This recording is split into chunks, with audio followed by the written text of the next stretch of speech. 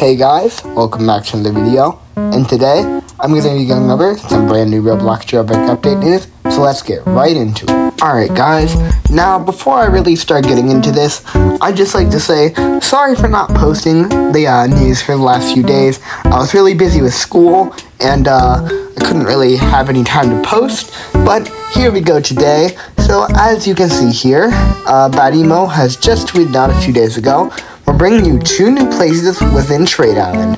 Drag race on the new highway bridge. Garage included for each lane. Snap photos in the new photo dome. Plus, we're bringing Cinematic Cam the trade VIP owners. This and more arrive this weekend. So, obviously, this is all the update news for this weekend's update. And what this is saying, on the trade island, there will be two new locations. One of them is a big highway where you'll be able to drag race. So here's an image of the trade island, and you can see off the edge is the big highway, which is a straightaway. And then if I come here, you can see another image of the garage in the beginning. And then here is the photo dome, where you can just take some pretty cool pictures of your car. I'm not quite sure where this will be, but it looks pretty cool. And uh, that's that. And if I scroll down, Asimo did say something else about here. And he says, the bridge track has a functioning light and time tracking for each lane, plus a pier-themed side road for filming and returning back to the start. So basically, uh, this whole track here, it'll track your time and it'll have like a stop or go light and everything. And then on the side, so you can drive up and down and uh, without going down the main track. There's a big like uh, little lane so you can just drive up and down without actually racing. So that's pretty helpful there. But anyways, let's move on to the next thing, which is the brand new Season 18 prizes. Now, Asimo here has said, Season 18 takes place in the Wild West. Let's take a look at the prizes. Level 2, Native Wing. Level 3, Animated Windmill Wing. Level 4, Wanted Poster. And Level 5, Bullhorn Wing. Now, let's take a look here. You can see this level 2 prize, the Native Wing, which I think is really nice, especially for a uh, level 2 prize. Then level 3 is Spinning Windmill Wing, and I like this a lot, especially since it's animated again, and it just looks really nice and I think fits the theme well. Level 4, the wanted poster, which is a furniture item, and I like this uh, quite a bit, and it looks pretty nice. And then level 5 is the Bullhorn Wing, which I like a lot. I probably won't use too much, but it does look really, really nice. Anyways, let's move on to the next few prizes, which are the level 6 Gunfire Rim, the level 7 Tumbleweed Rim, the level 8 Red Bandana, and level 9 Wagon Wheel Rim. Now, if we take a look at these, here's the gunfire rim, and as you can see, it's basically a revolver with uh, loaded with bullets inside a rim, and I think it's really nice looking, and actually looks uh, pretty detailed and pretty nice. And then level 7 is the tumbleweed rims, and these are also really detailed and really, really nice looking, and uh, yeah, I think I might actually be using these some.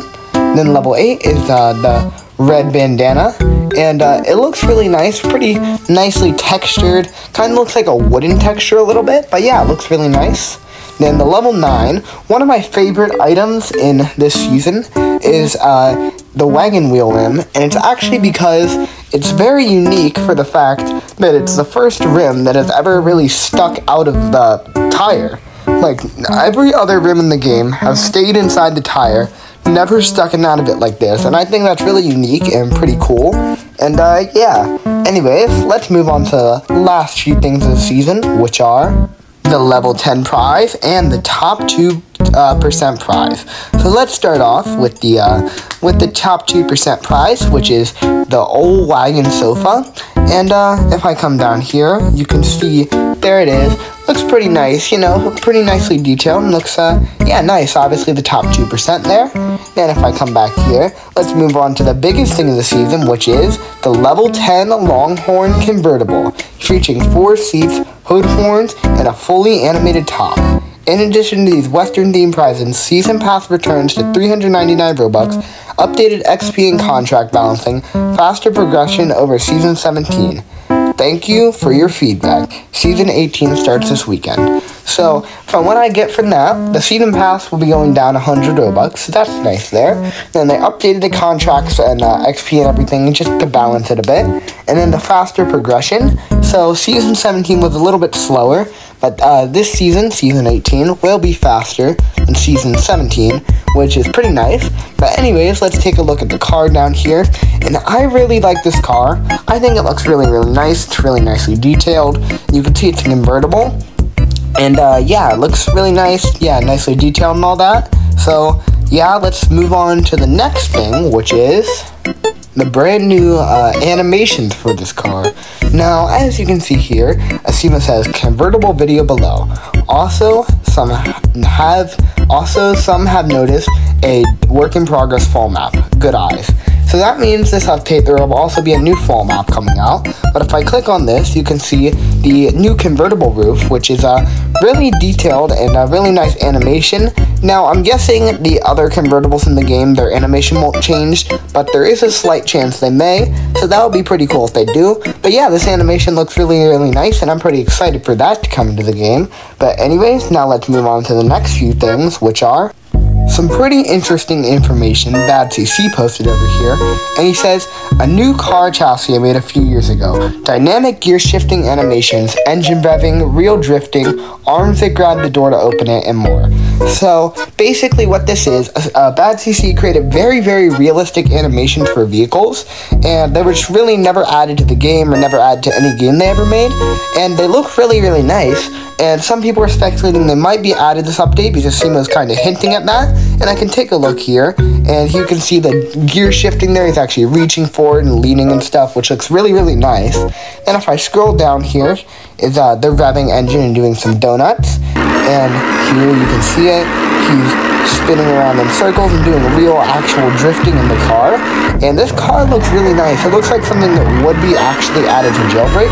So I'm thinking there's a possibility that this might actually be added to Jailbreak this update, but I'm not 100% sure about that. But yeah, that's uh, pretty cool there and then the door's opening. You can see he's you can press a button and it'll pull on the door, and eventually, if uh, you know you pull it, it'll open like that, which is pretty cool. Now, some people are speculating it'll actually be added, which I really hope it is because it looks really really nice, and I'm hoping this vehicle is also added. But anyways, let's move on to the last bit of news, which is some brand new robbery information. And here Asimo says we're talking about robbery logic changes. Today, we have a problem. Too many robberies to choose from. This is great as a player. So many options, but it's awful for server interaction and awful for police hunting criminals. The solution? Remove the RNG of robbery openings and control which robberies open together. Below, you'll find color-coded map broken into four groups. Group A, the bank, jewelry store, and museum. Group B, power plant, cargo plane, and passenger train. Group C, casino. Group D, cargo train, cargo ship, and tomb. Now, if I click this image here, you can see all the color-coded robberies, so you can basically see what it is.